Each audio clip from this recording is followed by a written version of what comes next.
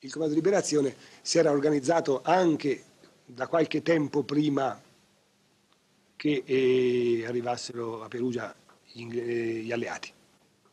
Infatti era già stato precostituito un minimo di organizzazione che si occupasse dell'immediato ripristino degli impianti di energia elettrica, dell'acquedotto. Io ricordo per esempio che l'ingegnere Alimenti, che era un democratico cristiano che fu primo segretario provinciale del partito eh, e per le sue specifiche competenze fu incaricato di presiedere una commissione che aveva ehm, come compito di vigilare sull'acquedotto e quando questo fosse stato danneggiato dal passaggio del fronte provvedere immediatamente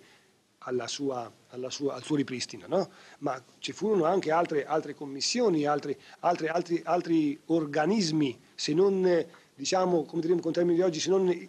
istituzionalizzati di fatto, che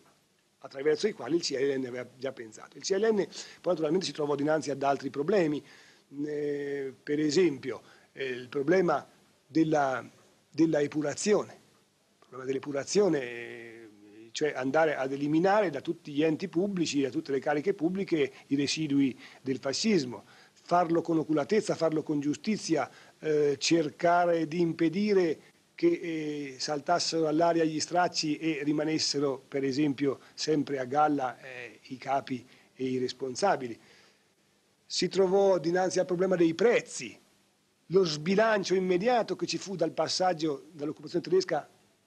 alla, al governo militare alleato, proprio nei valori di mercato, nel valore della moneta, quindi praticamente la gente che da una parte non lavorava, dall'altra doveva vivere, quindi contenimento dei prezzi, funzione direi di polizia annonaria, che era una cosa sentitissima. Oggi naturalmente parlare ai giovani di oggi di queste cose eh, pare quasi dire qualcosa che non, non riescono a capire perché c'è tutto, ma allora era un problema di farina, di zucchero, di scatolame, di carne vegetali inglesi che arrivavano o non arrivavano oppure tramite la pontificia opera di assistenza, ecco, mangiare le stesse cose che mangiavano le truppe, però avere, il guaio era averle a disposizione mentre le truppe le avevano e i civili no, quindi provvedere, quindi eh, addirittura spingersi magari fino a Terni, perché a Terni c'era un grosso carico di viveri alleati che Perugia non riusciva a venire. Ecco, tutte queste cose il Comitato di Liberazione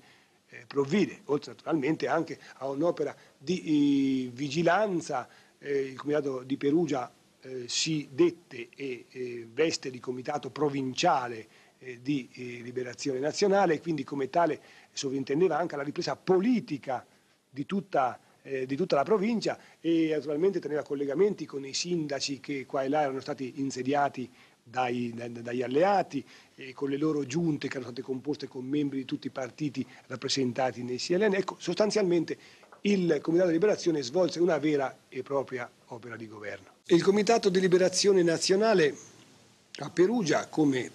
peraltro anche al nelle altre città, fu organo di governo, vero e proprio, perché nel, al momento in cui le truppe alleate eh, cacciarono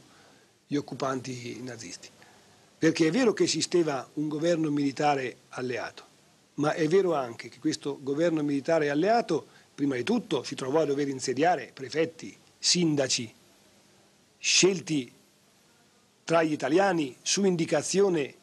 del CLN, su designazione nell'ambito CLN dei partiti antifascisti, ma soprattutto perché per un fatto spontaneo, naturale, che la storia della resistenza ci illustra essere vero soprattutto da qui andando in su, sentiva come suo punto di riferimento la gente come, come, come, come autorità legittima il Comitato di Liberazione Nazionale. Cioè questo Comitato di Liberazione Nazionale agiva proprio non soltanto per delega del governo militare alleato, ma agiva proprio come espressione, per quanto non elettiva, perché elezioni non c'erano state, ma come espressione reale della popolazione.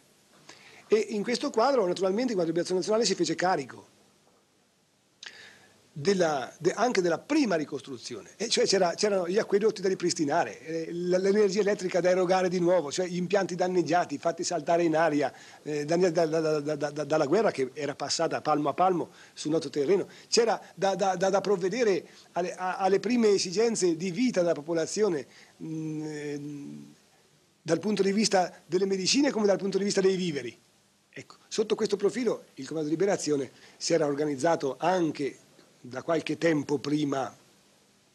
che eh, arrivassero a Perugia gli, gli alleati.